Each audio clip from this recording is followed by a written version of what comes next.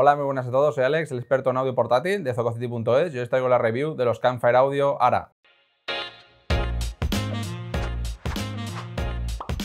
En concreto, estos ARA es uno de los nuevos añadidos para este año en la gama de Campfire Audio de auriculares in-ear y es un auricular que está compuesto por 7 drivers, en esta ocasión todos drivers Balance Armature. Vamos a tener eh, dos eh, drivers para agudos, uno para medios y cuatro drivers para graves y nos va a ofrecer un sonido bastante equilibrado, con muy buena presencia en agudo y con el que vamos a poder disfrutar de nuestra música de una forma muy fiel y precisa en todo momento.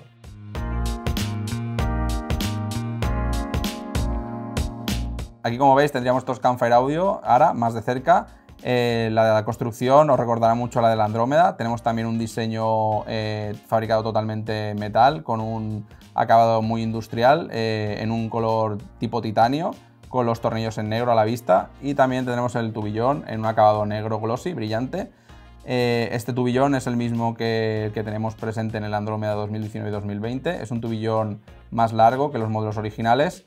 Y esto lo que nos permite es tener un sellado mejor, se introduce más profundamente en nuestra oreja. Y también es más cómodo de utilizar durante muchas horas en nuestra casa o fuera de ella. Y también otro aspecto a remarcar será su conector, es un conector de alta calidad eh, bañado en berilio lo cual eh, nos va a proporcionar un ajuste perfecto del cable y también mucha durabilidad a la hora de estar metiéndolo, sacándolo o intercambiándolo por cable balanceado. Así que en líneas generales tenemos eh, un diseño muy moderno, muy industrial y también una fabricación que la verdad es que es tope de gama, muy robusta y que va a hacer que el auricular nos dure durante años y años.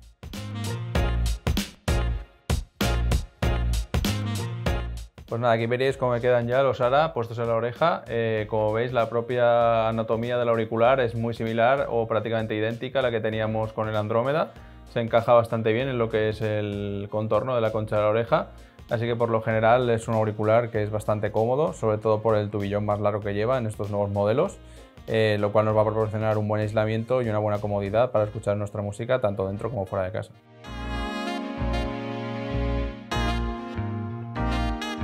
Aquí, como veis, tendríamos los accesorios que vienen incluidos en estos Camfer Audio ARA. Eh, en primer lugar, tenemos la propia funda del producto, eh, con el exterior acabado en piel, con un azul marino, la verdad es que es bastante bonito.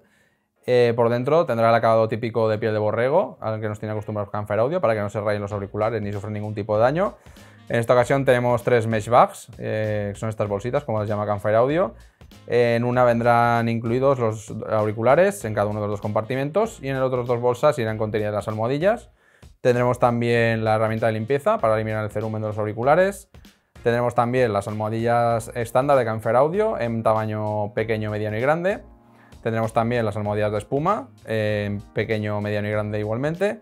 El pin de Canfer Audio, los propios auriculares, el nuevo cable Leeds en acabado Smoky eh, como veis es un, un cable perdón, pues muy maleable, muy cómodo.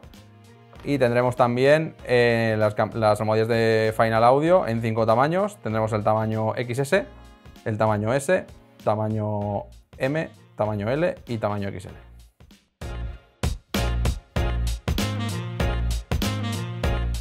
En esta ocasión, Canfar Audio ha optado por una configuración toda en drivers Balance Armature. Vamos a disponer de 7 drivers, eh, dos para agudos, uno para medios y cuatro para graves.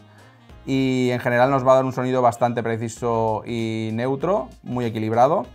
Y como veréis, en la configuración vamos a disponer de cuatro drivers Balance Armature, eh, sobre todo para dar una buena definición en grave, ya que los drivers Balance Armature por lo general eh, no pueden representar también el grave como lo haría un driver dinámico grande así que se ha optado por introducir cuatro drivers solo para esta frecuencia y como os comentaba, en general nos va a dar un sonido eh, bastante preciso y que nos va a hacer sacar todo el detalle de nuestras grabaciones. En cuanto a las especificaciones de estos ARA, vamos a tener 93 decibelios de sensibilidad y 8,5 ohmios de impedancia.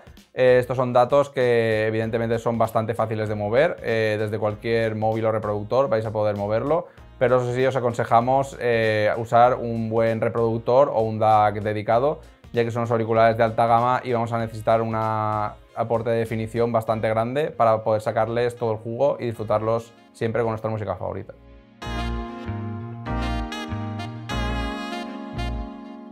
En cuanto a la escena de estos ahora, tenemos una escena, la verdad es que bastante grande, posiciona muy bien todos los instrumentos y nos va a dar un espacio y una sensación tridimensional eh, muy agradable. Eh, como os comentaba, eh, cualquier instrumento que entre dentro de la obra nos lo va a posicionar de forma muy precisa y nos va a dar siempre un efecto muy envolvente, prácticamente como si estuviésemos dentro de la orquesta.